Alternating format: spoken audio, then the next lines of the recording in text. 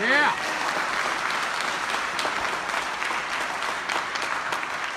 And I don't know about you, but when on my, my, the hair on the back of my neck stood up the day that the Attorney General came out and got on his knees and said, oh, yes, we should ban firearms accessories with executive orders, Mr. President. Excuse me? That's to the left of the Obama administration. The Attorney General of this state is a constitutional lawyer, but you know what? So was Barack Obama, so I guess it just doesn't mean much anymore. I have no compromise to offer on your Second Amendment rights. It's time to stop playing defense. Go on the offense. They want to go hard left, we go hard right. We should defend the Second Amendment.